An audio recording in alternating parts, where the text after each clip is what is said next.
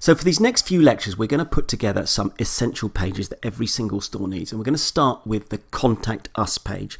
Now, you might want to do a Contact Us page and an About Us page. That's entirely up to you. Or you might want to combine them. And in fact, that's the preferred way that I do it.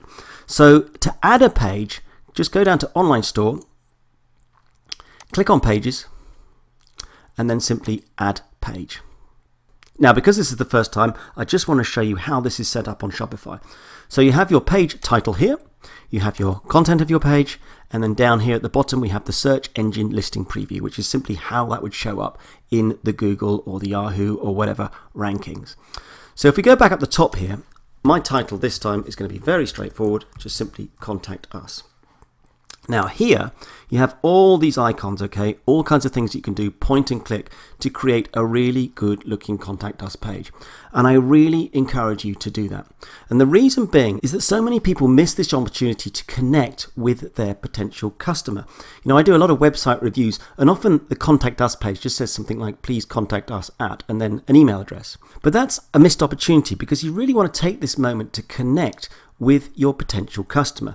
And the way you do that is you tell your story. You know, tell them why you're starting this e-commerce store. Tell them a little bit about where you live.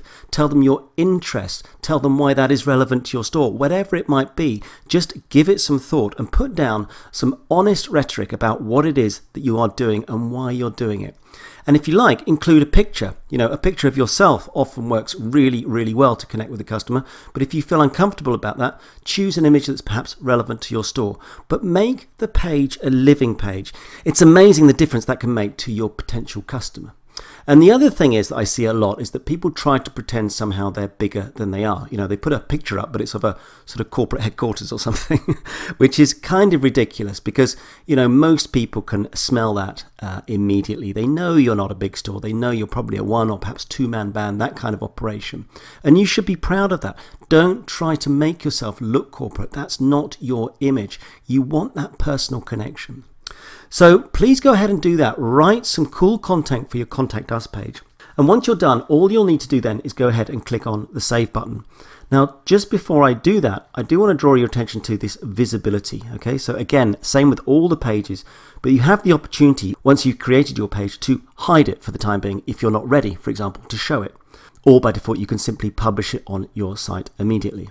So I'm going to go ahead and do that by just simply clicking on Save and it confirms that we've created it successfully. Now, you're probably thinking, now that's all very nice, Tim, but I still don't have any way for my customers to contact me. Uh, and in fact, the only thing you really have at the moment is the email address that you signed up with. So you could very easily add that at the bottom of your very nice Contact Us page that you're going to put together. But as the course progresses, I'm going to show you other ways that they'll be able to contact you. And in fact, later on, I have a whole section on adding credibility. So take your time with that Contact Us page. It really will pay dividends in the long run.